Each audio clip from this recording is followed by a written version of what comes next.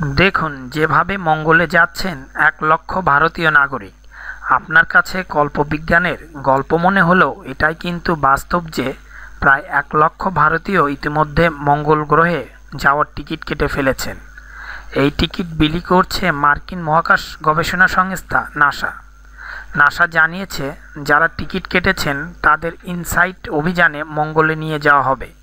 চমকে উঠেছেন হয়তো ভাবছেন এতটা এগিয়ে গিয়েছে প্রযুক্তি, তবে এখানে একটু টুইস্ট রয়েছে।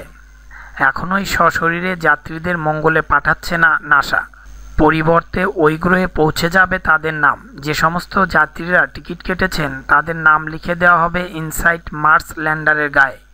বুধবার এক বিবৃতিতে নাসা জানায়, ইতিমধ্যে প্রায় এক লক্ষ আটত্রিশ হাজার ভারতীয় ওই টিকিট কিনেছেন।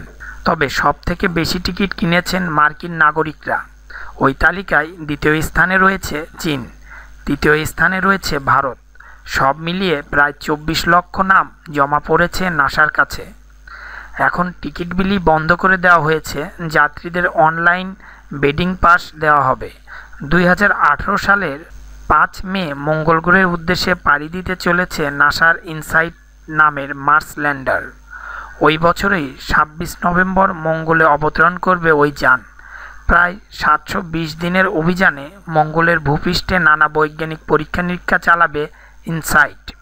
বিশেষ করে ওই গ্রহে হওয়া ভূমিকম্পের তথ্য সংগ্রহ করে পৃথিবীতে পাঠাবে মার্স ল্যান্ডার। ইতিমধ্যে নাসার এই অভিযানে সাড়া ফেলে দিয়েছে।